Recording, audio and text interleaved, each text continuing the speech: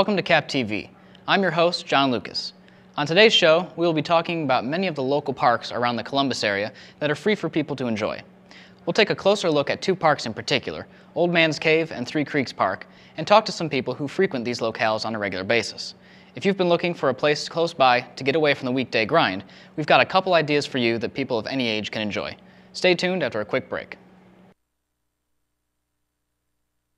Definitely know what it's like to feel alone. I had no hope, and I never, I didn't think that things would get better. I struggled a lot with um, thoughts of suicide myself. Speak up to anyone that you feel comfortable speaking to about those kind of issues. If you can get through those rough times, the good times are really good times. It might be bad now. There are a whole lot bigger and better things that are waiting for you down the road. It gets better.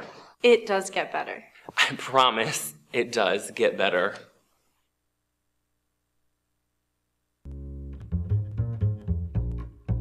What up? I'm Will. Play the bass. We're a jazz group, but we play everything from Miles Davis to Tom Morello. Hi, I'm Madison. I play drums for the group. Not only do we play covers, but we also play original music. Hey, I'm Danny. I play piano. We've played at benefits, restaurants, and jazz clubs, and we're open to play anywhere. Hey, I'm Zach, and I play guitar. Check us out on Facebook for our schedule, booking contact, and music.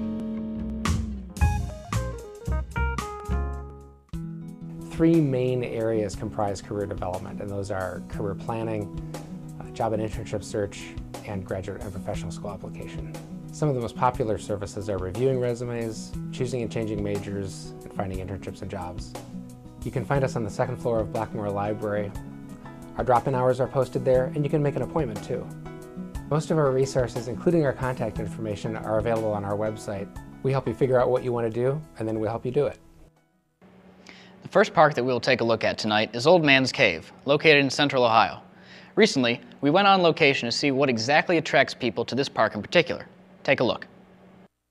I'm here at Hocking Hills State Park, located in Logan, Ohio, just 45 minutes east of Columbus.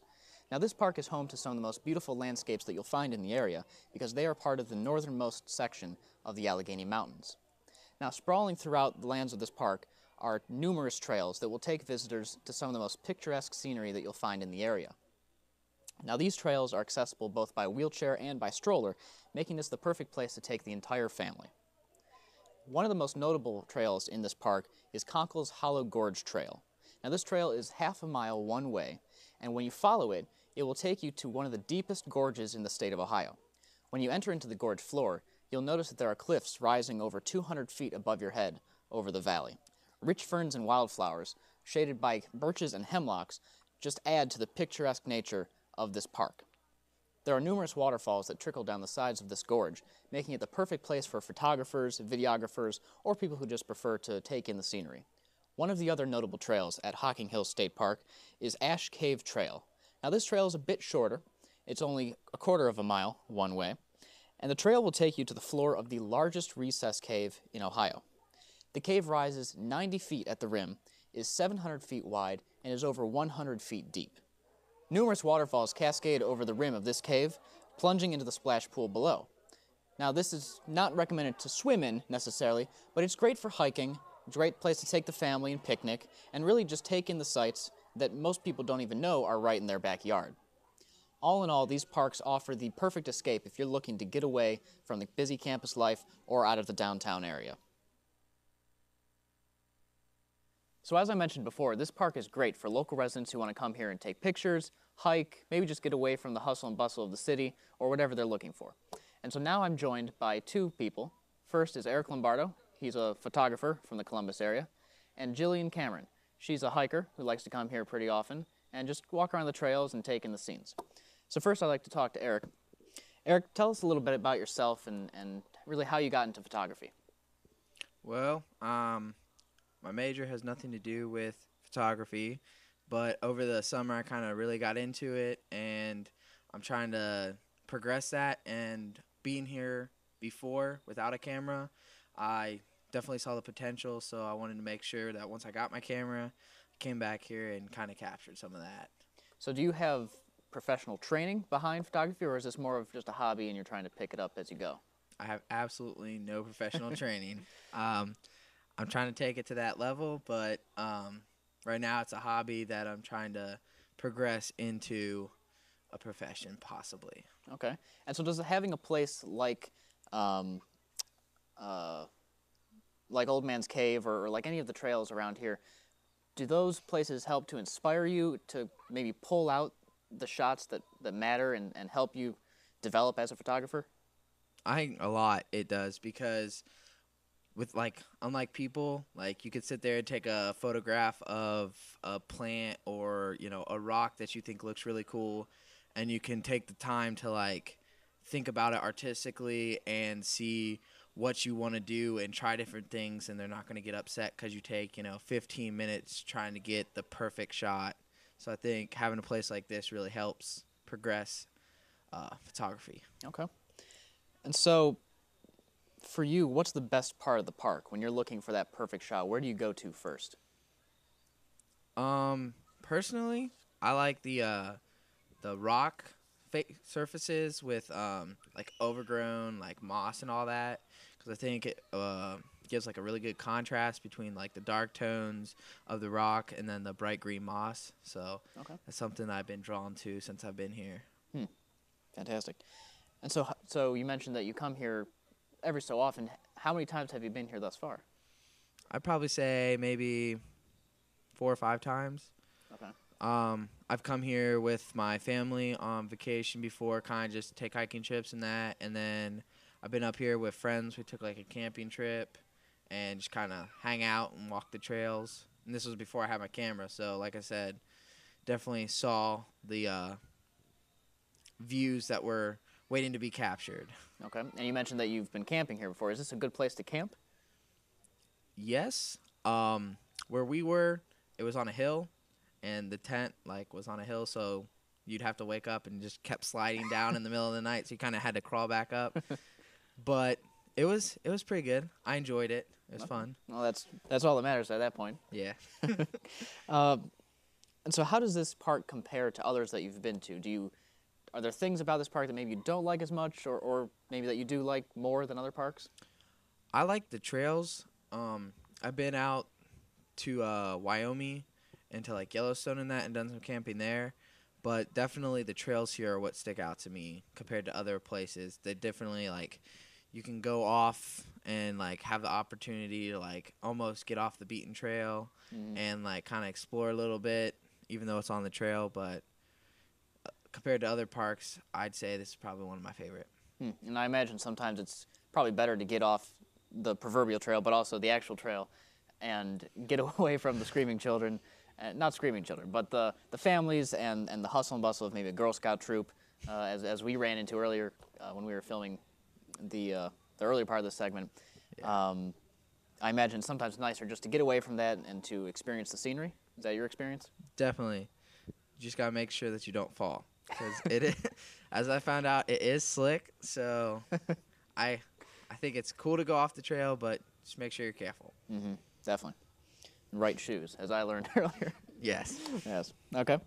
Um, so we also have Jillian Cameron. Uh, Jillian, you say that you come here and hike every so often, and, and you know really just come here to take in the scenery. Maybe you can Yeah, tell us a little bit about much. Um, I've been here a few times. I just kind of like to walk on the trails, and it's a little bit more exciting than the parks around my house. So Mhm. I can see things that I wouldn't normally see at home. Okay. Now, do you usually, when when you come here to, I, I assume to exercise and just to get out, do you hike a, a specific trail each time, or do you maybe take a different one every time you come? Not really a specific trail. Um, I like the Old Man's Cave trail, but I like all the trails around here. Really, I like to see new scenery every time I'm here, see something different. So I like to switch it up. Okay. And so, why do you choose to come to uh, Hocking Hills as opposed to just walking around your neighborhood or, or maybe another local park in the area? Well, around my neighborhood, I really wouldn't see anything really neat. So, and then the parks around my house are kind of just like, huh, I've been there all the time. Like, you can go there anytime you want. But here, it's like, oh, I gotta like take time out of my day.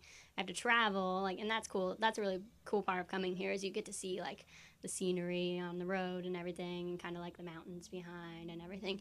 Um, and this morning it was really foggy, so that was neat. Um, but yeah, I would rather come here than stay near my house. And there's a lot of cool nature, a lot of cool birds. Mm. And so you're from the Columbus area or, or a suburb? Yeah, just right outside Columbus in Canal Winchester. Okay, so it's probably about a 40, 45 minute drive for you. Yeah, pretty much. And, and so is that that road trip element, that kind of one tank trip, is, is that something that makes the experience even better when you come to Hocking Hills? It is because you kind of feel like you're away from home. You know, it feels like you're on vacation, but really you're only 50 minutes from home. So when you don't have a whole lot of money to go spend and go to like Gatlinburg, Tennessee or something, you can come down here and feel like you're in that area. Okay, sure. And so, how does this park compare to others that you've been to? Do you do you like certain facets of this park better, or are there some things that you wish could be improved? Um, I don't think anything could be improved really. Today's kind of busy, so that's kind of weird. Like I've been here when it's more quiet, and that's kind of more enjoyable. But um, other than that, yeah. I mean, I really like all the stones. Like when you go down into Old Man's Cave Trail, there's like this big overhang, and it was actually raining one day, and we stood underneath, and we were sheltered.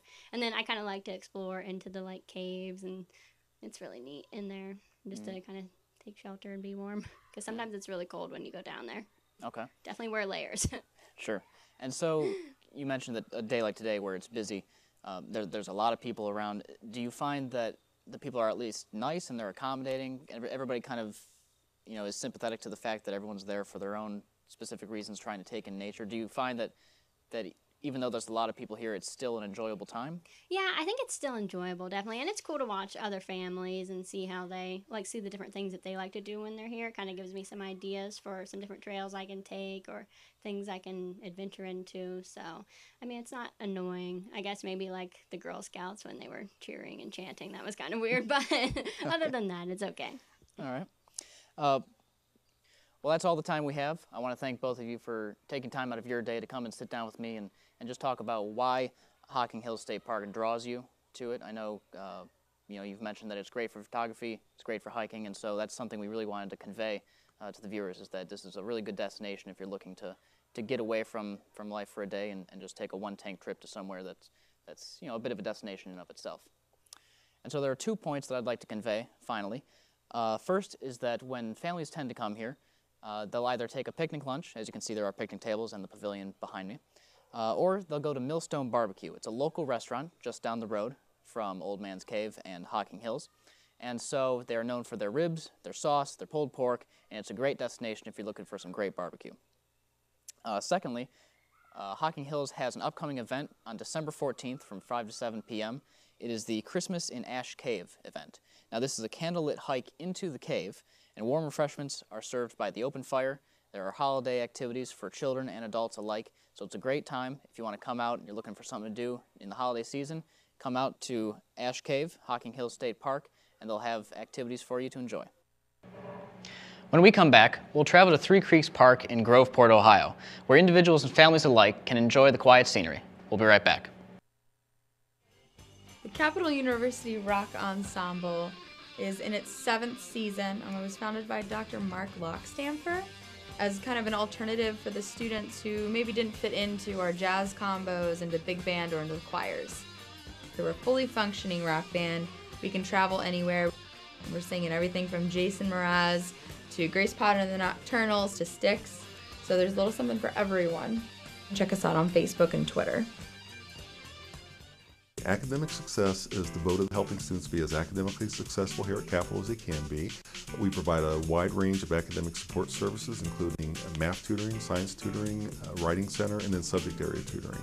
We're easy to find. We're right here on the second floor of the library, and they can get more information by either calling us at 236 6327, emailing us at academicsuccess at capital.edu, or just simply going to our website, uh, www.capital.edu uh, forward slash academic success.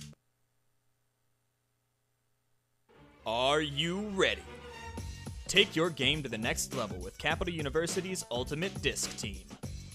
Have fun with great people while learning to compete at this ultimate sport.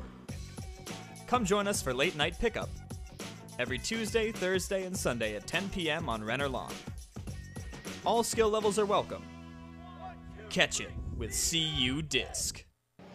Many people who live in the Columbus area aren't aware of the different parks that are free for anyone to enjoy. In fact, there are over 15 parks just within 20 miles of the city. One such park is known as Three Creeks, home to a vast array of wildlife, biking trails, and picnic areas. Once again, we went out to experience this park for ourselves. Check it out. Named for the confluence where Alum, Big Walnut, and Blacklick Creeks join, this 1,100 acre park is operated through a partnership of Metro Parks and Columbus Recreation and Parks. Three Creeks is a major hub in the Franklin County Greenways program, an interconnected system of trails along the seven major streams in central Ohio.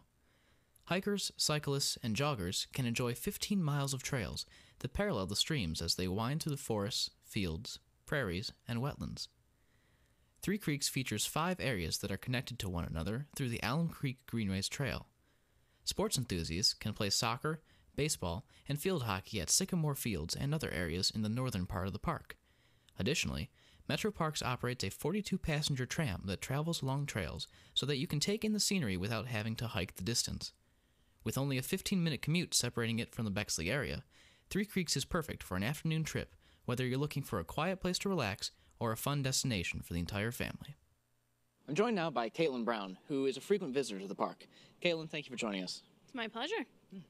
So, why don't you start off by just telling us a little bit about yourself? Well, I attend Capital University, and I'm a junior political science major, originally from Ashville, Ohio. Okay. And so, what usually brings you to the park? Do you come here by yourself, or, or do you come with family? What usually is the nature of your visit? Well, since I live in Bexley during the school year, I babysit um, young children on the weekend, and they love to come to the park, get out of the house. Okay.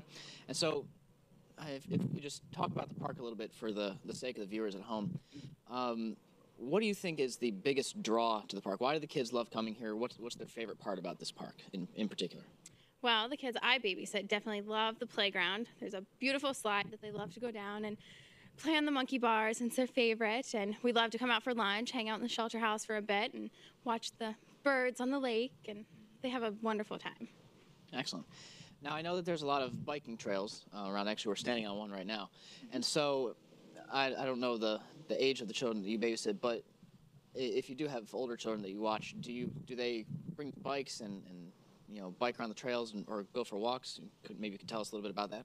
Yes. Um, my older children, they're about 12 and 13 years old, and they absolutely love to ride their bikes. We'll bring our bikes out and ride around for hours at a time and stop and have a lunch again. And excuse me. um, the younger kids definitely love to walk and they love to chase after the birds. Of course, they run away, but they have a wonderful time. Sure. And so, how about the other people around the park? You know, if you have little kids here, you want to make sure that they're safe and, and that other people won't bother them or, you know, that there's not dogs chasing after them. So, uh, as far as the other visitors, does everything go well with them? Are they fairly nice? Definitely. Everyone we have encountered is very kind. They say hello to the kids or some regular people that we see on the weekends, and they love to stop and talk to them, ask them how school's going, and they have a great time. Okay. And so, are there dogs allowed at this park? I know some parks don't allow pets, but, um, you know, do you see dogs here regularly? I do see dogs, and quite often, actually. The dogs seem to love it as well. They stay away from the playground, but they love to run up to the lake. None of them ever jump in, of course. Good, good. Um, and as you mentioned, there is a lake here, and so I, I will mention that a lot of people do tend to fish. Uh, some people I saw earlier uh, were unloading some kayaks, and so the lake is available for people to, to boat. I'm sure you don't take the kids on the lake uh, for the sake of, of their safety, but uh, it is a, a very family-friendly park here, and, and you know there's a lot of child activity. So, Caitlin, I noticed that uh, you know driving here, there, there are a couple restaurants on the way, but I know that there's facilities here where the families can bring a lunch, and maybe you could speak to that a little bit. Yes, there's a beautiful shelter house that I see a ton of families at. Like I mentioned, we always bring a lunch. Um, there are some grills that people are able to use. Um, I know some of my kids have actually had birthday parties in the shelter house um, during the summer, and families seem to absolutely love it. It's very clean, it's very nice, very open to everyone. Excellent. Now, as far as noise, because I know some of the parks in the Columbus area are a little close to the highway, and so you know you get a lot of traffic noise. There's trains and sirens and all that. Would you say that this park is particularly peaceful? Definitely, we are close to a major road, but every time I've been here, I barely hear a sound besides the wind and the birds. Well, that's good. And I know it is a, a windy day today, but uh, you know we appreciate you coming out and, and taking the time to speak with us, and I hope you enjoy the rest of your time here at the park. Well, thank you very much. Three Creeks Park is located just east of Bexley on Route 33 and is open 6:30 a.m. to 8 p.m. We're going to take a short commercial break. When we come back, I'll sit down with our producer to discuss what it was like to film on location at these great parks of Ohio.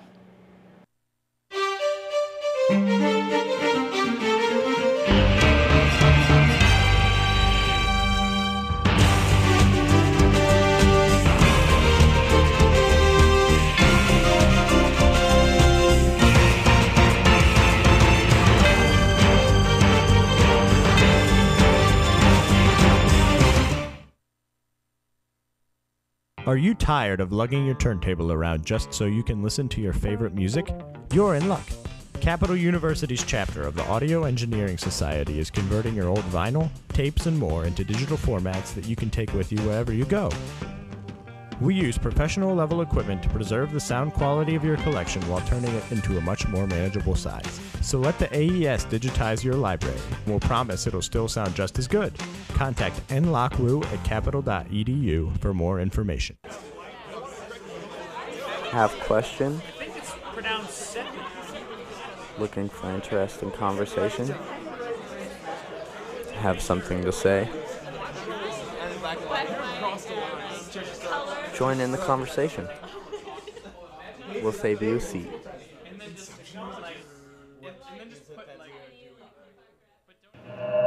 Finally, tonight, I'd like to share with you all the experience of filming these segments on location at the different parks, offering some personal insight on these destinations and contrasting our expectations with what we actually found.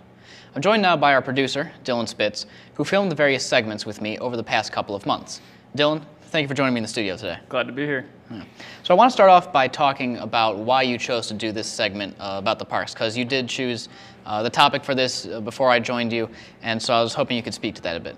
Yeah, um, the the main thing that I wanted to kind of capture uh, doing the show this way was that you know a lot a lot of people that you know came to Capital and live on campus kind of feel landlocked in a way, um, kind of feel like there's nothing to do unless you want to go downtown. Um, and some parts of downtown aren't the greatest to be at, and Mm-hmm. things like that. So um, I kind of wanted to show people what's available to them that's not that far away, um, Mhm. and something that's really unique um, that you wouldn't think you can find in Ohio, especially in Central Ohio, right so close to campus. Um, so I kind of just wanted to capture that and show people that there are things to do off of campus, and that it's not hard to get to them. Mhm. Okay, perfect. And so, you know, as far as the experience of traveling to Three Creeks Park and, and shooting there, you know, that was my first time Mhm. uh, being at Three Creeks, uh, as well as Old Man's Cave. Mhm. And so, I was hoping you could speak to, you know, the experience of traveling to Old Man's Cave. You know, we, we mentioned that it's about 45 minutes away. Yeah. And so, there's kind of that road trip element, and, and perhaps that's your experience as well. Yeah, so it's like a 45 minute drive, uh, roughly, from where I live. From campus, it's like an hour, I think. Um, but yeah, it's it's not too bad of a drive. It's kind of cool because it's like a road trip, but without the cost and hassle of an entire road trip if you go cross country or anything like that. Um, so you get the fun of a road trip without the expense, which is cool. And it's really not that bad of a drive. You get some cool scenery on the way down. You can see some of the mountains and things going past Lancaster and all of that. So um, it's it's an enjoyable trip, especially if you bring some friends and make a good time out of it. And uh, yeah, it's definitely worth the drive. Yeah, when we went down there, uh, you know, you and I, uh, to shoot the, the segment, you know, it was a little bit foggy. You, you're going through the farmlands and, and you see all that. And Yeah. and it's, it's fairly relaxing. You know, Yeah. there's some nice scenery. It, it's definitely, like you said, it has that road trip element that makes it a little more fun than just, you know, walking down the road to the, the local park or, or whatever. Yeah. You know, it kind of makes it more of, of an event, I Mhm. guess. To go there, you can put on your, you know, music and, and Yeah. whatever else. And so it just makes it a little more fun. And I Yeah. like that about it. You know, especially again going there for the first time. I thought that was probably the most interesting aspect was just the the experience of driving there and, and Yeah. having to travel there. Um, so as far as you know, what we saw when we got there, Mhm. you know, uh, to to Old Man's Cave in particular, uh, there were a lot of people. You know, Yeah. and, and, and so you saw it in, in the in the package. We did that overhead shot where you could see the place was just crawling. It was. And it was. so is, is that atypical? No, you know, for- no, yeah, and I, and I felt bad bringing you there as your first time on that day. Uh, we probably shouldn't have gone on a holiday weekend, I guess, Right. looking back at it. Um, yeah, it was like an amusement park there that day, and it wasn't very enjoyable in that aspect of it. Um, it's way more kind of relaxing and peaceful. Typically, uh, there's not that many people there. You kind of get to walk around and experience nature a lot.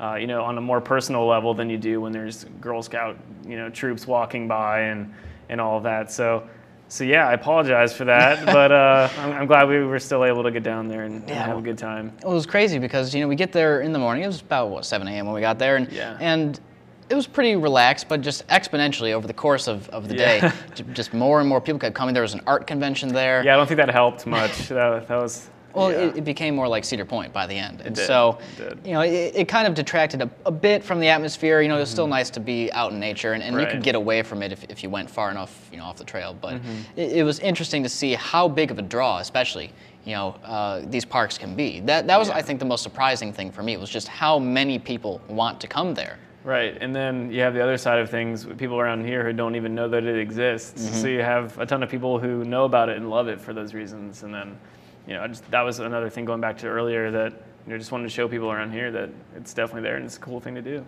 Sure. So, were there any expectations that you had going there? I know you'd been to both of the parks before, and, and Mm-hmm. you know this was my first time for both of them, so perhaps I could speak to this a bit uh, easier. Yeah. But did you have any expectations going into this that maybe weren't met when you got there, or maybe that were that uh, you know were on the whole met? Yeah, I, I think the biggest thing that kind of threw me off was the amount of people. Mhm. Um, besides that, nature is nature, so Right. it didn't change much. Uh, so everything that I remembered uh, was was still there. The waterfalls and um, the Devil's Bathtub area and Right. all of that. So you still get to see all the cool, uh, you know, nature side of things, but the the amount of people definitely did take away from the whole experience, and uh, so that that did catch me off guard and was definitely unexpected. hmm Yeah, I think the most interesting thing for me uh, when we got to Old Man's Cave, there's like a welcome center area Mhm, there. there mhm. There's a museum.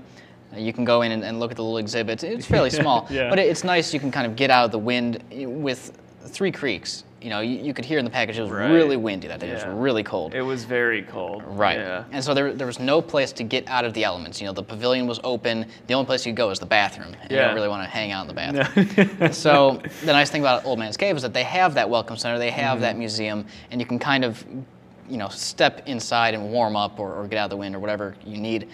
Uh, but what I found interesting was that it was completely shut down in the morning. Aside from being able to get into the building itself, there were no lights on. Mhm. There, there were no uh, park maps that you could take and, and just, you know, have something to, to help you find your way around the park. So it was very strange to me because there didn't really seem to be a reason because the park was open. Yeah. But it was just kind of shut down, and so I found that to be very odd. Yeah, and uh, again, going back to prior experiences, that typically there's maps that's way more upkept than it was when we were there. Um, everything was kind of dusty, and not, there was no lights on. They left the door open. I'm not sure if they were supposed to do that, but um, yeah, it was definitely odd. Yeah. Yeah.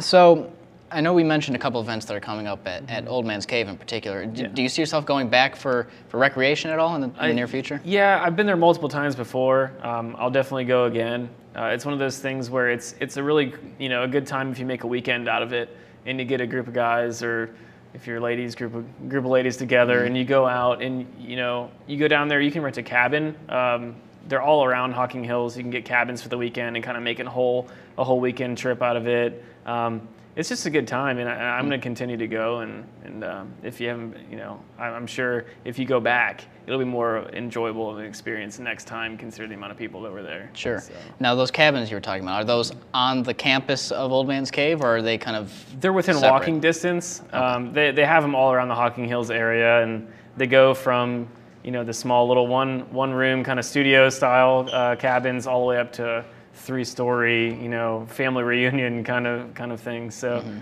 there's a there's definitely a twist for everybody, and, it, and it's cool. Sure. Okay. Now, if you could give one piece of advice to, to somebody who's looking to, to travel to either of these parks, you know, either Old Man's Cave or Three Creeks, what would you say to them, you know, in, in you know, a couple sentences? What, what would you say to them to make their experience better or just so that they know what to expect? Yeah, so um, basically, bring some friends. Don't go alone. It's way more enjoyable with family and friends. Um, be adventurous when you go. Go off the beaten trail a couple times. You might not be supposed to do that or whatever, but it makes uh, makes for a more enjoyable time. So bring some people, go down there and, and enjoy it. Fantastic. Well, that's all the time we have for tonight on Cap TV. Dylan, thank you for talking with me in the studio today. And thank you to all of your viewers for joining us. Tune in again next week uh, when we take a look at Capital University's 48 Film Festival and discuss some of the great video shorts that come from that event. I'm your host, John Lucas. Good night.